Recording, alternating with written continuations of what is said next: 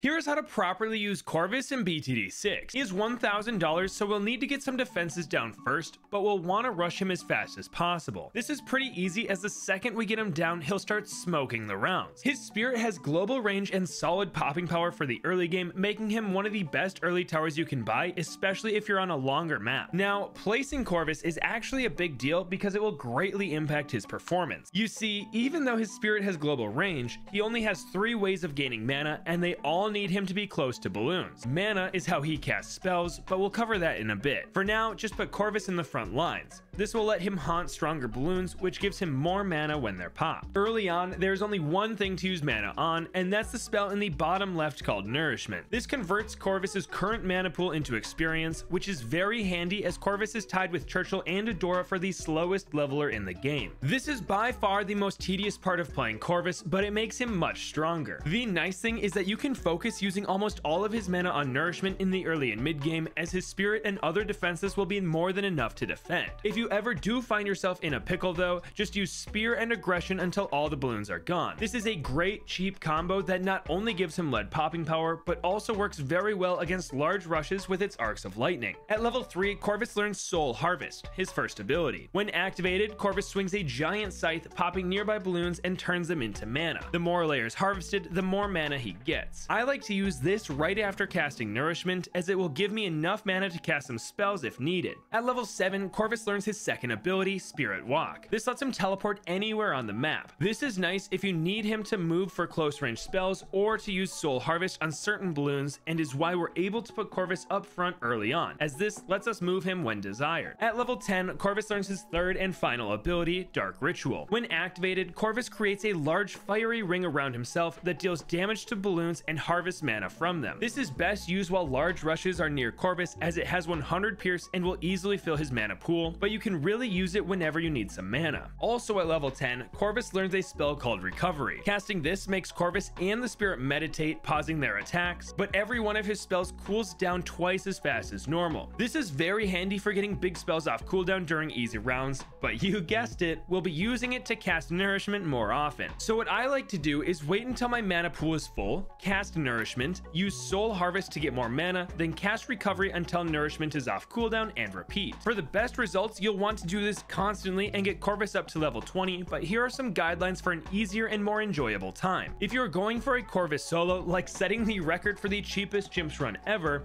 you need Corvus to be level 20 by around 95. If you have some other defenses and are just trying to win with a ton of money left over, having Corvus hit level 20 by around 98 works well. But if you are just trying to win and have a chill time with Corvus, aim for him to hit level 15 by 98 for advanced and expert maps, and level 13 by this time on beginner and intermediate maps. Now for his spells, and there are some crazy combos that we can pull off. For the mid game, there are two cheap combos, and they are casting Spear and Aggression or using Repel and Ember. Both of these are pretty easy on the mana pool and can make a huge dent in balloon rushes. Now, let's say you're in rounds 80 plus and you don't need to be spamming Nourishment anymore, what spells should you use? Well, a classic is using Ember, Repel, Spear, and Echo all at the same time. The double pushback of Repel will stall the balloons, making them stay in the flames of Ember much longer than normal, which is super helpful for dealing with the MOABs and Super Ceramics. And if Repel is on cooldown, you can replace it with Frostbound. It does a similar thing, but costs 20 more mana. If Ember or Echo are on cooldown, you can use Spear, Aggression, and Storm. These are nice because they'll never be on cooldown as all three of them are toggleable spells. Just be sure to use Soul Harvest or Dark Ritual to keep your mana up, as having all three of these on drains quite a bit of mana per second. That being said, the Spirit will be pumping out the damage with all three of these spells active. Now let's say you use this combo and a ton of Super Ceramics are heading for the exit. You could cast Frostbound and hope that the freeze stalls them long enough for your defenses to pop them, but if they're too close to the exit, cast Trample and Repel.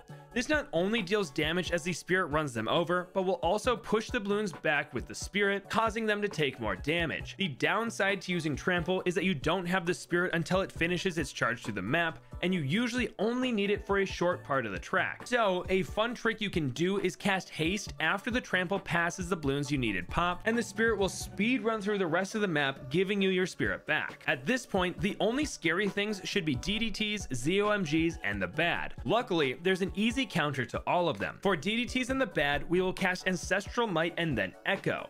This turns the spirit into a close range attacker, but deals massive single target damage. Just set Corvus to strong and watch him basically solo the DDTs. If Corvus doesn't have camo detection, you'll need to cast vision as well, but you should have something to help with camos. To get around his short range while this is active, we can cast Spirit Walk to move him with the bad. This does a surprising amount of damage and will leave you in a good spot to finish it off. Normally, you can pop the bad with a first strike and skip the insides, but if you manage to get Corvus to level 20, you can cast Overload after Ancestral Might wears off, and the Echo Overload combo will pop the bad similar to a first strike. Now, all that's left for us to cover is how to deal with the ZOMGs on rounds like 94, 96, and 98. A nice trick for all these rounds is to set Corvus to strong so the spirit targets the ZOMGs, and then cast Overload right on top of them. If Corvus is level 20, this will take out the ZOMGs by itself. If he's a lower level, then you'll have to cast Echo and Overload to take them out. Just be sure to not pop everything with this combo as we'll want to stall a BFB or two to let his spells come off cooldown. The nice thing about this is that Corvus can beat chimps basically on his own if you get him to a high enough level. For example, I beat off the coast with $129,000 left and that was after spending 11 grand to get him to level 20. So if we had used nourishment more, we would have had 140k left over. Some people love challenges like this where they end with a ton of money, like Chom Chom, and Corvus is perfect for that. But what I like to do with him is get certain tier 5 towers in a chimps game that I normally can't afford, like a Flying Fortress, Dark Knight, or Giganotosaurus. This way I get to take advantage of how strong Corvus is without spending every waking second casting nourishment. Instead, I just get him to a decent level, let him carry me through the mid game, and then get a crazy tier 5 tower to beat the 90s. So even if you're like me and don't like microing, Corvus can still be a very fun hero to use. But that is how to properly use Corvus in BTD6.